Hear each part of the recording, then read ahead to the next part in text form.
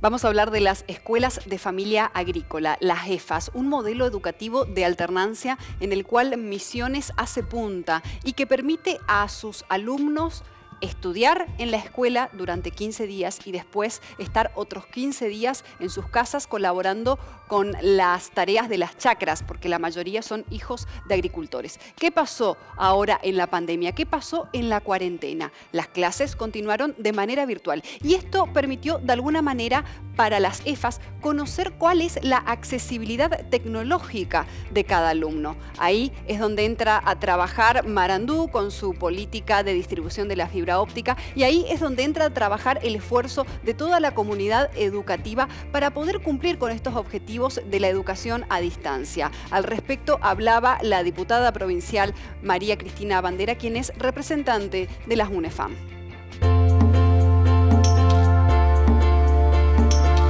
Las escuelas de familia agrícolas de Misiones ofrecen un sistema educativo basado en la alternancia. La cuarentena significó un cambio rotundo, ya que la educación continúa pero a distancia. Hay muchos hijos de colonos que no tienen celular o computadora. Para ellos hay una atención especial. Algunas familias que aún hoy no tienen eh, ese, equipamiento, sino que los mismos docentes, las jefas tienen una, gran responsabilidad y un gran amor al, al sistema de educación por alternancia, imprimen los trabajos eh, y ponen a disposición en la escuela que, que puedan venir a buscar ahí o en algunos casos se le acerca al alumno hasta la casa para que pueda seguir eh, estudiando en este tiempo.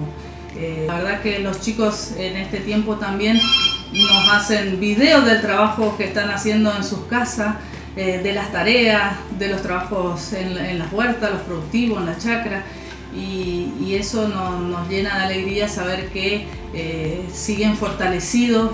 La conectividad de Marandú permite el acceso a Internet en lugares antes impensados. Toda esa red que ha instalado Marandú y que ha hecho llegar las conexiones a toda la cefa de la provincia y también en, en las distintas localidades donde ha posibilitado que las familias puedan tener un poco más de acceso. Para la diputada María Cristina Bandera, el mayor desafío de las EFAS en este tiempo es la soberanía alimentaria. Seguimos trabajando desde siempre en esas cuestiones, pero quizás hoy eh, vamos a reforzar, a redoblar nuestro esfuerzo eh, en ese sentido y que nosotros convertirnos de lo que ya somos en un centro de conocimiento de, compartir conocimiento entre lo teórico y lo práctico en, nuestras chacras. Desde el 2018 rige la ley de EFAS y desde el año pasado junto a la Escuela de Robótica se implementa el programa EFA 4.0 para incorporar soluciones tecnológicas en el agro. Cuatro años que tenemos las EFAS en misiones y la verdad que, nos ha encontrado en un tiempo de mucha unión. Eh, y de mucho trabajo eh, en familia, en conjunto. Y creo que eso, eh, gracias a eso, pudimos ir sosteniéndonos eh, en este tiempo tan difícil.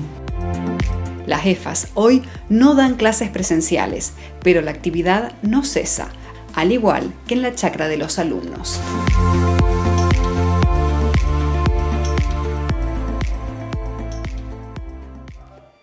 Cabe destacar que tanto el Ministerio de Educación como Marandú Comunicaciones están haciendo todos los esfuerzos para poder llevar Internet a las comunidades más remotas de la provincia. Se viene una nueva edición del Parlamento Municipal de la Mujer. La sesión virtual será el próximo 2 de julio. Mientras tanto, las participantes se capacitaron oportunamente para poder preparar y elaborar proyectos de ordenanzas. En el recinto del Consejo Deliberante de Posada se realizó el sorteo virtual para la tercera edición del Parlamento Municipal de la Mujer 2020. Los concejales eligieron virtualmente a las mujeres que experimentarán este espacio democrático de participación con perspectiva de género y equidad. En esta edición participarán solamente 18 legisladoras de las 439 inscriptas para garantizar las condiciones sanitarias durante la experiencia legislativa. Mediante el sistema de votación virtual se eligieron 14 ediles, una defensora del pueblo, una secretaria, una prosecretaria legislativa y una prosecretaria administrativa que participarán de la experiencia promoviendo la igualdad de género e impulsando las iniciativas que se convertirán en futuras ordenanzas. Las temáticas que se desarrollarán en el Parlamento de la Mujer Municipal expresan una diversidad de intereses como servicios públicos, cuidado de la niñez, vivienda, educación, trabajo, seguridad social, seguridad alimentaria, salud, derechos sexuales y reproductivos, entre otros. Las parlamentarias electas recibieron una capacitación en técnicas legislativas y oratoria para que puedan presentar y trabajar en las diferentes iniciativas y proyectos de ordenanzas que se tratarán en la sesión virtual ordinaria el jueves 2 de julio. Enseñamos un poquito la idea de cómo hacer proyectos y luego siguió eh, una capacitación en oratoria. Por supuesto, en esta situación que nos toca vivir, eh, no solo a nivel nacional, sino en la provincia y en el municipio, acotamos el Parlamento de la Mujer, lo tuvimos que hacer un poco más reducido en cuanto a, sus, a la cantidad de parlamentarias, al tiempo y a la sesión. Eh, la verdad que fue una experiencia muy linda, estuvieron todas presentes, muy atentas, con muchas preguntas. Van a estar acompañadas por los equipos eh, técnicos de los 14 concejales, del Defensor del Pueblo, eh, también van a estar acompañadas por eh, la Dirección de Asuntos Legislativos y la Prosecretaría Legislativa para que puedan de alguna manera plasmar sus ideas en la realización de los proyectos.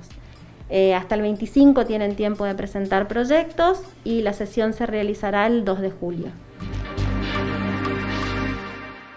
De esta manera estamos finalizando este nuevo encuentro con las informaciones legislativas. Reiterando a todos los padres un saludo muy especial en su día y el reencuentro será el próximo fin de semana. Que tengan muy buenas noches. Gracias.